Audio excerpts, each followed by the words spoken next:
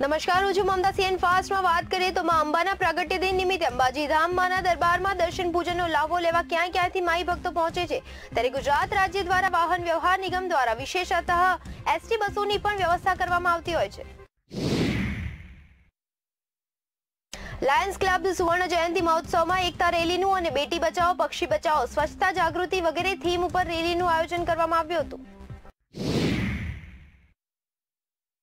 પાલનપુરમાં રામલીલા મેદાનની પાસે આવેલ કેટલાક ક્વાર્ટરમાં છેલ્લા સાત વર્ષોથી માનસિક ત્રાસ ભોગવી રહ્યા છે. ત્યારે કેટલાક પરિવારોને ચાલવાની પણ જગ્યા મળતી નથી.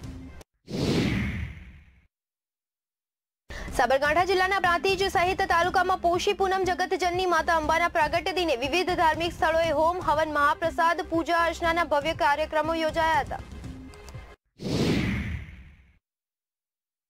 દામનગર લાઠી તાલુકાના ગ્રામ્ય વિસ્તારોના રોડ રસ્તા અંગે મીડિયાના અહેવાલથી તંત્ર હરકતમાં આવતા સત્વરે રોડ રિપેર કરવાની ખાતરી આપી હતી.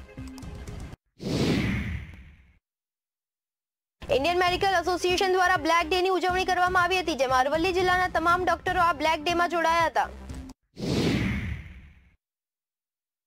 અરવલ્લી જિલ્લાના ઇટાડી ગામે પૌરાણિક અંબાજી માતાનું મંદિર આવેલું છે, જે લોકોમાં મિની અંબાજી તરીકે ખ્યાતિ ધરાવે છે. આજે પૂનમ હોવાને કારણે મંદિરમાં ભક્તોનું ઘોડાપૂર ઉમટ્યું હતું.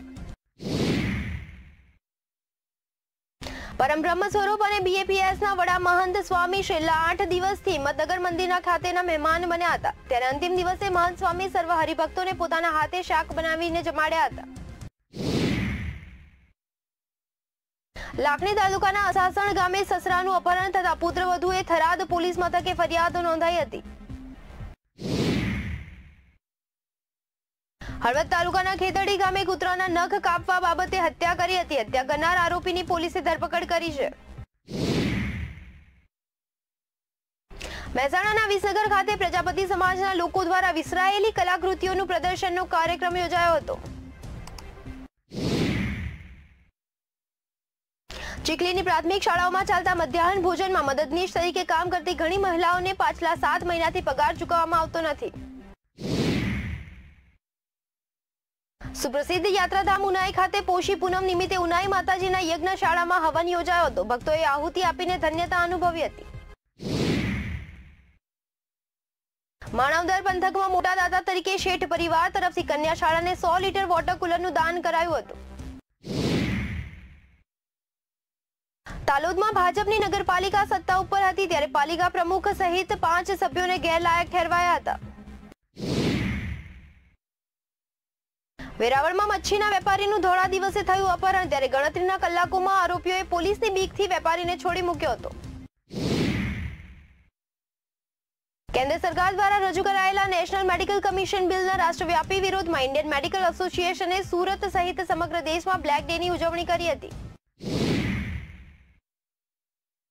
સુરત જિલ્લાના કામરેજ તાલુકા ટીંબા ગામે એક ખેતરમાંથી યુવતીનું ગળું કાપીને હત્યા કરાયેલ મૃતદેહ મળી આવ્યો હતો. ત્યારે આ હત્યા પ્રેમ પ્રકરણમાં કરાયાનું બહાર આવતા પોલીસે હત્યારા પ્રેમીની ધરપકડ કરી હતી.